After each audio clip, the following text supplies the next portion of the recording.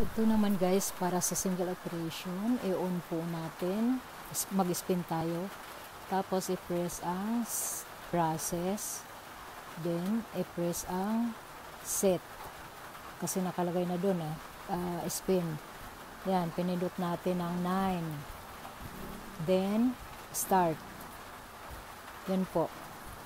Madali lang kasi pag single operation, yan lang ang pipindutin mo. On. Yung power on. Ayan na, oh, umiikot na siya.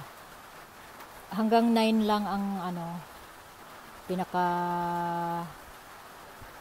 ah, maximum niya na maximum limit ng ano, ayan, 9 lang. Asya.